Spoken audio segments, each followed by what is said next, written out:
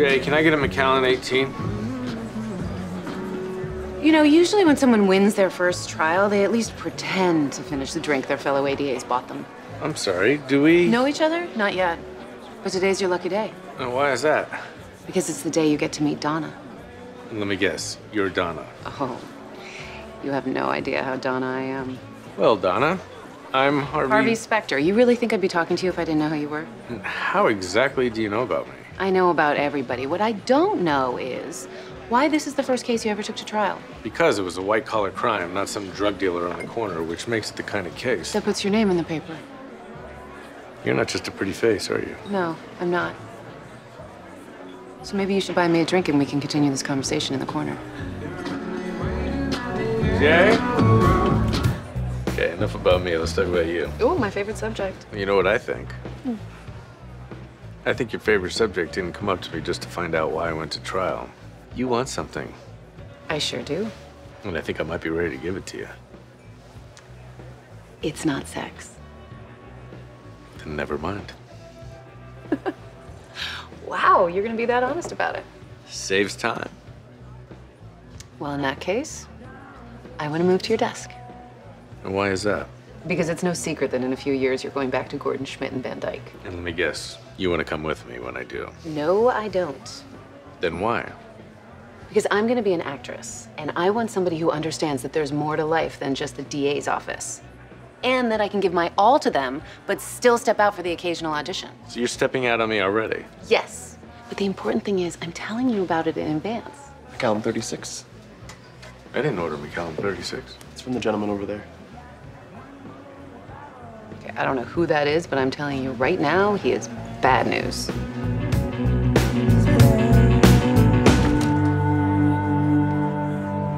I know who you are, and I'm not interested. Just because I got a bad reputation? Because I'm not accepting a drink for putting your rival behind bars. You got the wrong idea, pal. I didn't buy you that for putting my enemy away. I bought you that for how you put my enemy away. Okay, you got me. What are you talking about? You. You've got something special. And I want people with something special working for me. Why exactly would I want to work for you? I can think of a million reasons, because that's the signing bonus I'm going to give you. And that's a hell of a lot more money than you're ever going to make as a lawyer. What if I told you I don't practice law to make money? Then I'd ask you, what are you practicing for? To bend people to my will. Then bend people to your will for me. Well, here's the thing, Mr. Forstman. Not that it's any of your business, but I'll be making half a million a year in no time. Half a million a year is dick. My gardener makes that. Then go offer your gardener a job because I'm not interested. Just so you know, you change your mind and come back to me, it's not going to be the same conversation. Thanks for the drink. Good luck, Mr. Forstman. Well, what do you think? I think this place is a dump and I'm busy, so why don't you tell me why we're here? I want to open a restaurant here, Marcus, there's already a restaurant here, and it isn't working. Which is why they're going to lose their lease. Take a look. I've got a chef. I've got a liquor license. I've got renovation plans. I have everything I need. Except the money. I need $150,000. Are you crazy? Come on, Harvey. This is my dream. I I know I can make this work. I'm not saying you can't, but I don't have that kind of money. You're the big time lawyer who just got his name in the paper. My name in the paper doesn't pay me extra money. I make $50,000 a year. And you said you were going to be a corporate lawyer. Yeah, and when I am, I can help you, but right now. I don't give a shit about right now. I give a shit about when you were supposed to be my big brother, but instead, what did you do? Marcus, when are you going to take responsibility for your own shit? What the hell does it look like I'm trying to do? But if you don't come through, I'm gonna go to mom. You don't mean mom, you mean him. And you're not taking a nickel from that man. Taking his money isn't gonna make what he did to dad any worse. That's bullshit, and you know it. And I'm not going to let you do it. Hey, Harvey, how the hell are you gonna stop me?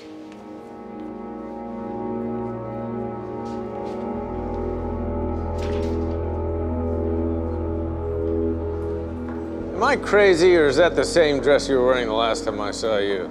You must be crazy because I don't wear the same dress ever. Then you must spend a fortune on wardrobe. But I have to say, it's worth it. I suddenly get the feeling this isn't just a drop by. I want to move up our timeline. Harvey, we have a deal. I put myself on the line for you, and our deal is not going to change. I could just pay you the money back and move on. And if you could do that, you wouldn't be here asking to come back. How much money did Marcus lose this time? He didn't lose anything. He wants to start a restaurant. He doesn't want to start shit. He owes somebody something. You don't know that. He's turned his life around. What I know is he has a problem, and he's looking to get money from you. You're not going to get it from me. Then I'll get it somewhere else. And what's that supposed to mean? I got a job offer from Charles Forstman. Look at me. I don't care what he's offering you. Don't take it. Because he's got a bad reputation, you think I don't know that? I think there are a lot of things you think you know that you don't. What I know is you're either going to help me or Charles Forstman is. It's up to you. Harvey, I can't make you listen to me. But what I'm not going to do is let you come here and leverage me with some bullshit offer from a shady banker. So do what you're going to do. Don't say I didn't warn you.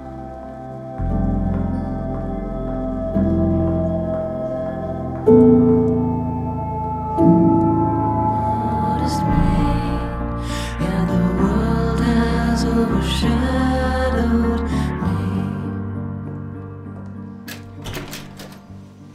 What are you doing here? Nobody finds out where I live. I do.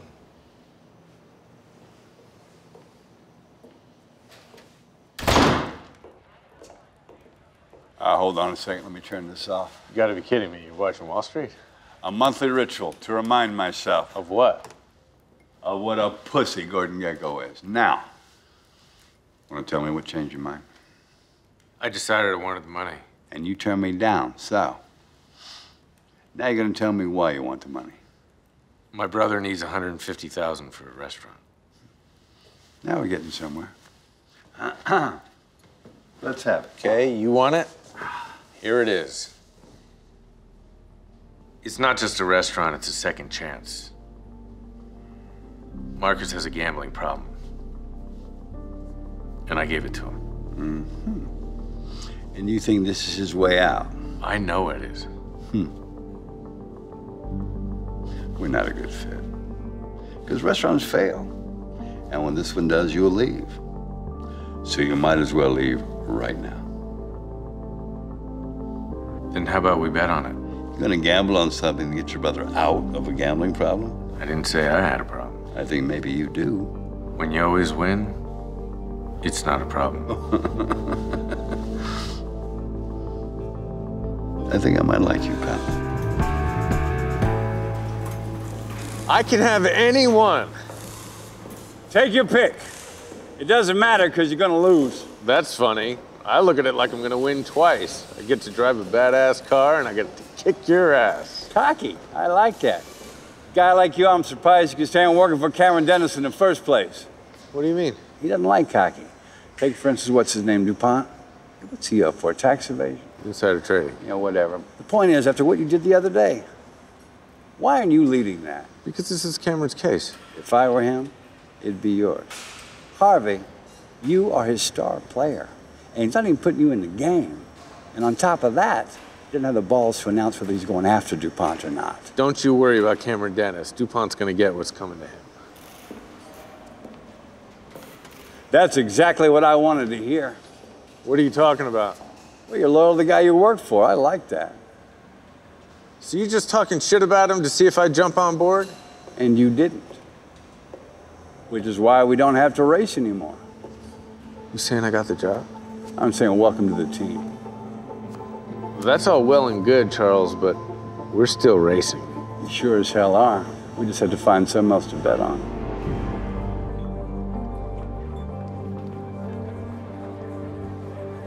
Hang on a sec. Hey, Hey, you didn't come down here just to give me my start date. I came down here to tell you I think you have something special, and I'd love nothing more than to have you on my desk, but I'm leaving the DA's office. Does this have something to do with that Forstman guy buying you a drink the other night? I thought you didn't know who he was. Well, I looked him up because I thought I was going to be working for you. I'm telling you, he's shady. Because he's got a bad reputation. Oh, I don't care what his reputation is. You don't know this about me yet, but I know people. Usually better than they know themselves. And the same way I know you are a good person, I can tell you that man is rotten to the core. You're just trying to get me to stay so you can work at my desk. Listen to me. I don't care whether I work on your desk or not. You're making a mistake if you take a job with that man. Then I guess I'm making a mistake because I already did. It's nice knowing you, Donna. You goddamn liar. Donna, don't be mad. Yeah, Conchita tells everybody I'm not home. You know what I'm talking about. DuPont Investments dropped through the floor today, and you sold short based on something I told you in confidence. I don't recall you telling me anything at all. You son of a bitch. You made over a hundred million on that trade. Yeah, I did. Welcome to the real world, pal. My real world doesn't involve befriending young attorneys to get inside information. Maybe not the right man for me after all. You think I still want to work for you after this? You wanted competition and money. You got the competition.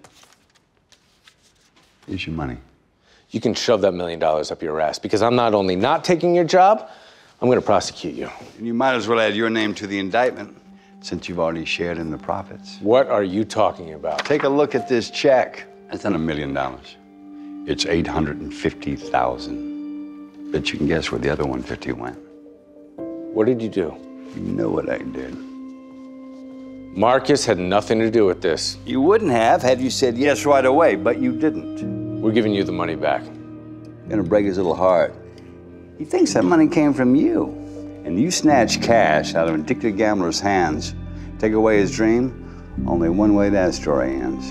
So you can either pout about it, or you can embrace it and prove to everyone I was right when I said I saw something special in you. Someday the shoe's going to be on the other foot, Charles. Words spoken by every loser I've ever met. See you around, pal.